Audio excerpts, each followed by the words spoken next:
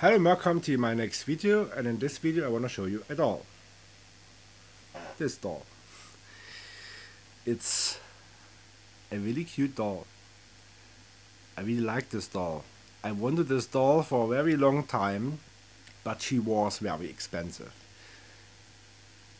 She was for 50 euros and that is not what I pay for this doll. But yesterday she was on sale I saved 20 euros. She was 30 euros, and I also uh, wanted to buy uh, our generation doll, but I only had those default ones, so I decided to buy this doll. And I'm really proud to have this doll because I like her smile, and it was a very emotional unpacking yesterday because I already wanted this, always wanted this doll. But before I show you the doll, I show you the package. If you're not familiar where this is, or who this is, this is Masha. And she does not come with her bear. It is from the movie Masha and the Bear, and or and the bee and, and, and the bear, and the package looks like this.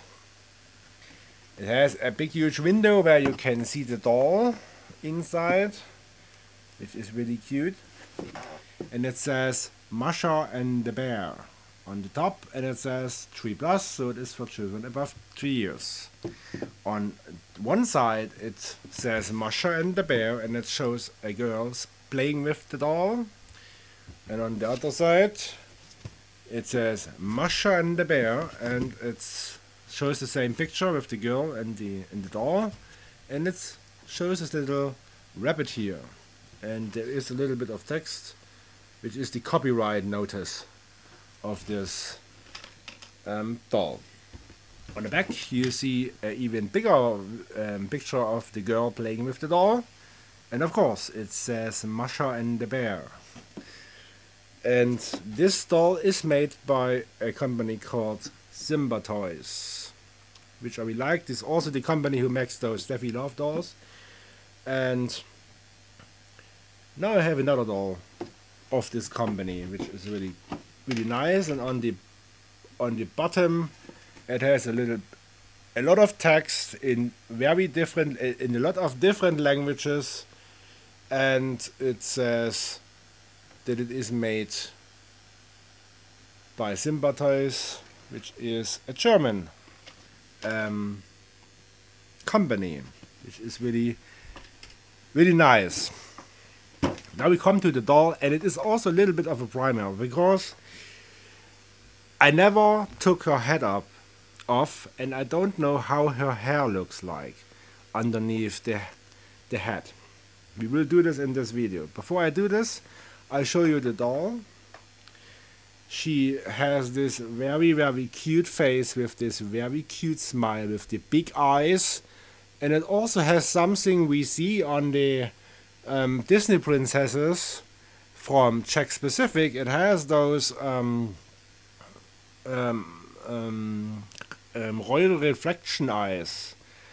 Um, I don't know if they paid for the for the possibility to to do this because this is a technique which comes from Jakks Pacific. So, but this is not my problem. She has blue eyes, as you can see here she has this very bright or white smile as you can see here which is really nice. I really like this. She has this very cute nose. And if you look close to her she also has some freckles on her cheeks. She wears a hat as you can see here which is separate. You can take this off very easily. It is held by this um, bow you can see here. It's uh, very easily easy um, to take this off. I hope so because I want to show this. She wears this coat, as you can see here, and she has those gloves on her hands, and she also have those shoes. To the material, the hat is hard plastic the hands and the feet also hard plastic and the rest of her body is a very soft body type. So it's very cuddly, this doll. Even if, because of her big head, it's really, really heavy, this doll. And I don't know if a three-year-old can hold this really.